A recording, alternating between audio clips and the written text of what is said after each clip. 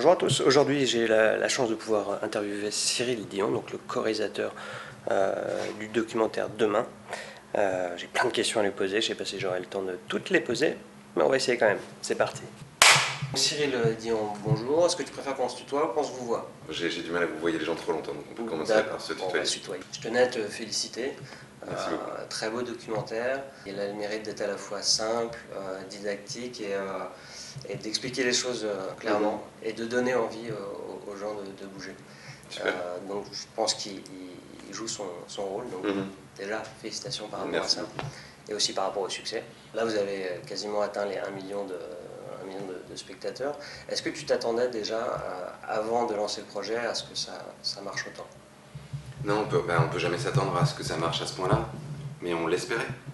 On voulait faire un film qui puisse toucher le public le plus large possible avec l'idée qu'il euh, fallait sortir un peu de la, sphère des militants et des activistes qui vont toujours voir ce genre de film, et qu'il fallait le rendre populaire pour, euh, pour le plus grand nombre, pour toutes les personnes qui se posent des questions, parce qu'elles se rendent bien compte que la situation est de pire en pire, la situation écologique, économique, les migrants, et qui ne trouvent pas de solution, et qui, qui a priori on trouve dans ce film, puisque effectivement on, on a eu énormément de succès en France, beaucoup plus que ce qu'on ce qu'on pensait. Est-ce qu'à un moment donné, justement, pour être cohérent avec le message, on, ne se dit pas, euh, parce que j'imagine que le film est quasiment remboursé, mhm. euh, à un moment donné, est-ce qu'on se dit pas, euh, on va mettre le, film gratuitement sur Internet pour que là, ce soit plus un million, mais 20 millions? Et en fait, on n'a pas le droit de faire ça. C'est-à-dire que si on choisit de passer par des canaux classiques de distribution, avec un distributeur, un vendeur international, un éditeur de DVD, on a des contrats qui nécessite que le film soit exploité dans les différentes sphères. Après, on aurait pu choisir au départ de faire complètement différemment et de, de nous affranchir en fait de tout le système de distribution classique et de le mettre directement en ligne sur Internet. Mais c'était pas le choix qu'on voulait. D'une part parce qu'on avait envie que le film soit dans les salles. Parce que dans les salles, quand les gens voient le film, ils sont plusieurs, parfois plusieurs centaines en même temps. Ils vivent des émotions ensemble ils reçoivent le film de façon beaucoup plus forte, sur grand écran, avec beaucoup de sons. Et ensuite, ils ont la possibilité de se parler, de monter des projets. Le cinéma, pour nous, est un lieu de lien social qui est encore très important. Et à mon avis, on n'aurait jamais réussi à avoir autant de médias, à avoir autant de spectateurs si on n'avait pas eu ces canaux de distribution qui permettaient justement d'aller chercher un public un peu mainstream et pas, simplement encore une fois, tous les activistes qui auraient pu aller le voir sur Internet. Pour autant, le film va passer à la télévision, il va passer sur France 2, euh, il va être en VOD, en DVD, quelqu'un va finir par le pirater, peut-être que c'est déjà fait. c'est pas grave. Est-ce que tu le souhaites au final? Oui, mais c'est très bien qu'à un moment il se retrouve sur Internet. Euh, après, je trouve ça aussi très bien que, que ça fasse marcher une économie. L'économie du cinéma, euh, elle est extrêmement importante ce truc de gratuit sur Internet, il faut quand même comprendre que c'est aussi une forme d'exploitation moderne. C'est-à-dire qu'on exploite la créativité des gens pour enrichir quelques grosses multinationales, dont Google. Euh, et que si on veut vraiment avoir une économie qui fonctionne, ça demande que cette économie soit locale, enracinée. Et quand on fait des films comme ça, on fait vivre des cinémas d'arrêt d'essai, on fait vivre des techniciens du cinéma, on fait vivre des petites maisons de production, qui sont ensuite des gens qui vont défendre du cinéma d'auteur, qui est extrêmement important. Si tout était gratuit sur Internet, il faut pas non plus se faire d'illusions. Tous ces, tous ces artistes et toutes ces choses-là n'existeraient plus, parce qu'il n'y aurait plus personne pour les financer. Une des premières solutions, parce qu'il y en a beaucoup dans le documentaire, c'est euh, concernant l'alimentation et l'agriculture. Euh, le fait de ne pas manger, enfin, de pas manger ou de ne pas manger beaucoup de, viande. Euh, question bête, mais est-ce que toi, es, par exemple, tu es végétarien? Moi, je suis devenu végétarien il y a un an et demi. D'accord. Après le, après le tournage. Après le tournage, mm. d'accord. Euh, moi, par exemple, je viens de voir un, documentaire qui s'appelle Conspiracy. Conspiracy, D'accord, mm. de, de Kip Anderson. Uh-huh. pareil, je l'ai vu la semaine dernière et je me suis dit, là, je peux aller encore plus loin et devenir végétarien. Et, mais la question que je me pose derrière ça, c'est euh, ok, si, toi, moi, on, change, c'est bien, mais le faire à grande échelle, est-ce que c'est vraiment réalisable? Pour moi, c'est presque une question que je me pose plus parce que De toute façon, la chose sur laquelle tu as le plus de pouvoir, c'est toi-même. Donc il faut bien commencer par quelque part. Et on est parti euh, en faisant le film d'une phrase de Gandhi qui dit euh, Montrer l'exemple n'est pas la meilleure façon de convaincre, c'est la seule. Et moi, par exemple, je suis devenu végétarien pour ça. Parce que je, ça fait des années que je disais il faudrait qu'on mange moins de viande, il faudrait qu'on arrête de manger du poisson, euh, et où je cassais un peu les pieds, notamment de ma chérie. Et un jour, je suis revenu en râlant, comme d'habitude, en disant ça. Elle m'a dit Mais, mais tu veux pas arrêter de nous emmerder? Enfin, si, si tu penses qu'il faut arrêter de le faire, arrête-toi de le faire mais arrête de nous demander à nous de faire un truc que toi tu fais pas quoi. Et j'étais tellement vexé que le lendemain je suis devenu végétarien, donc ça fait un an et demi. Et c'est comme ça que ça peut commencer à changer la culture, à changer nos représentations, notre imaginaire, et que peut-être potentiellement ça peut participer à, un changement à très large échelle. Après, l'autre chose qu'on peut faire, et qui est le sujet de mon, de mon film d'après, c'est est-ce qu'on a besoin de faire une révolution?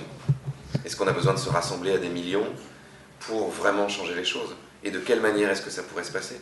Et comment est-ce qu'on peut tirer les enseignements du passé justement euh, pour ne pas reproduire euh, un certain nombre d'erreurs qui, euh, qui ont conduit des révolutions à, à ne pas aboutir à de véritables changements, comme la plupart du temps? Je voulais parler aussi un peu, rebondir sur le mouvement Nuit debout, mhm. savoir ce que tu en pensais, est-ce que c'était une bonne chose?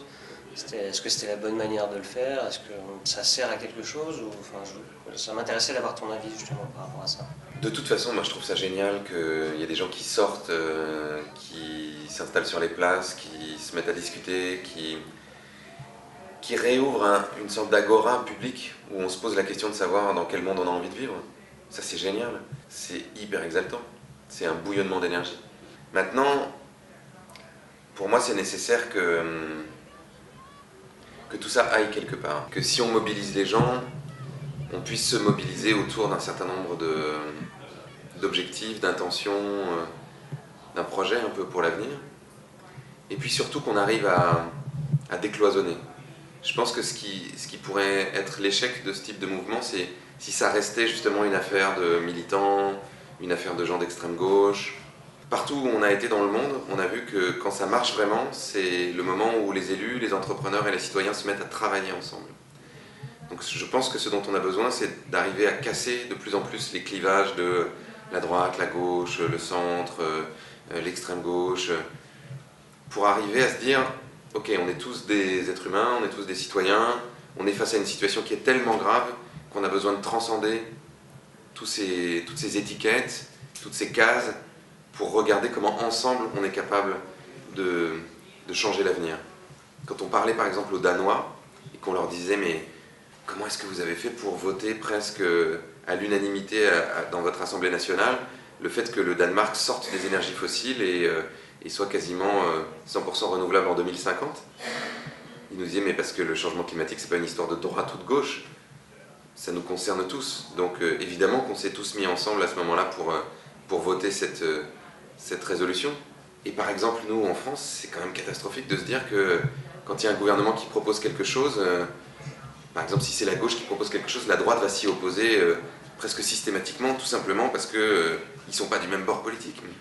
C'est absurde quand on voit que aujourd'hui les, tentatives qu'il y a de, de, casser justement un peu ces clivages sont, sont tout le temps raillées en disant euh, cette histoire ni droite ni gauche, ça n'a ni queue ni tête, mais c'est plutôt cette histoire de droite et de gauche qui, au bout d'un moment, n'a ni queue ni tête. Ok, la droite et la gauche portent des valeurs et des projets un peu différents, et c'est bien et c'est nécessaire d'avoir un débat d'idées, mais quand ça devient aussi caricatural et que ça empêche de prendre des décisions qui sont tellement nécessaires pour l'intérêt général, là ça devient absurde.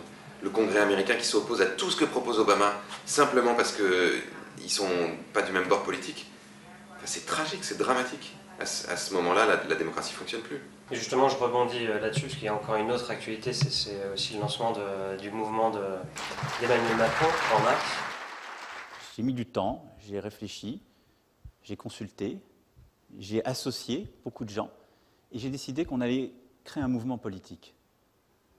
Un mouvement politique nouveau. Qui dit ni droite ni gauche, euh, qui veut changer euh, les règles de la politique. Alors, pour toi, c'est plutôt un enfumage de plus ou c'est vraiment euh, porteur d'espoir? J'en sais rien, à vrai dire. Je ne connais pas suffisamment les intentions de ce mouvement pour pouvoir le juger. provoquer de la créativité, en tout cas dans le, dans le milieu politique, ça me paraît nécessaire. Et il me paraît nécessaire que dans les années qui viennent, il y ait de nouveaux mouvements qui émergent. et qui émerge justement de, de tous ces mouvements citoyens qui, euh, qui veulent réinventer le futur. À un moment, il va bien falloir que des personnes décident de porter ces idées sur, dans le champ politique pour pouvoir euh, transformer les institutions, pour pouvoir changer un certain nombre de lois pour que ça aille plus vite. Après, est-ce que Emmanuel Macron fait partie des gens qui, euh, qui veulent aller vers une société telle que nous, on imagine que c'est nécessaire dans demain? Je, je ne sais pas ce sera un nouveau mouvement politique. Je ne sais pas si ça va réussir. Et si tu avais un, un, un, modèle en termes de réalisateur de documentaire, ce serait qui? J'adore, pour des raisons extrêmement différentes, euh, les documentaires de Wim Wenders et de Michael Moore.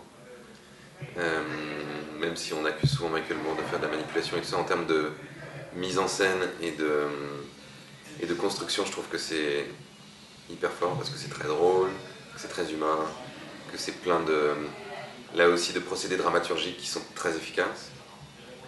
Wim Wenders, euh, je trouve que c'est toujours des documentaires extrêmement beaux, extrêmement humains, qui... Hum, je me souviens, alors ça a mal vieilli à l'image, mais je me souviens de Buena Vista Social Club qui était euh, vraiment tellement exaltant à, cause de la musique, mais vraiment à cause de la façon dont il filme les humains. Là, le sel de la terre, c'est une espèce de choc esthétique magnifique.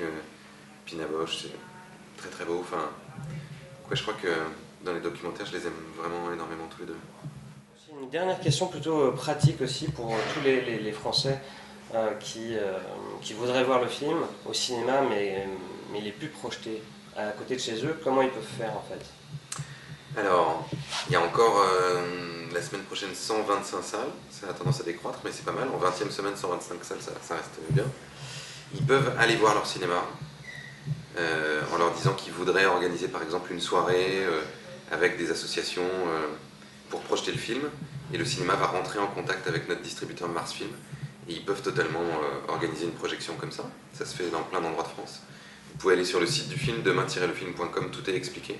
Vous pouvez même trouver des, animateurs, notamment du mouvement Colibri, pour, pour animer le débat et tout ça.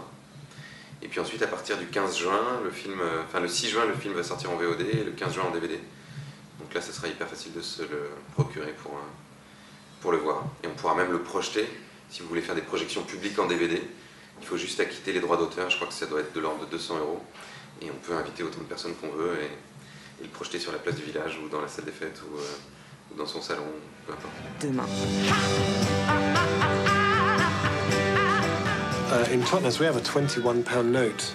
Kind of 21. Because you can, why not?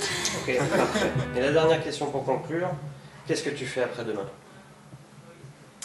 Après-demain, je fais une projection avec la maire de Paris, Anne Hidalgo. Ok, bon, c'est pas mal. Ouais. Bah, Cyril Dion, merci beaucoup, et puis bah, on te souhaite plein de bonnes choses pour la suite. Merci beaucoup.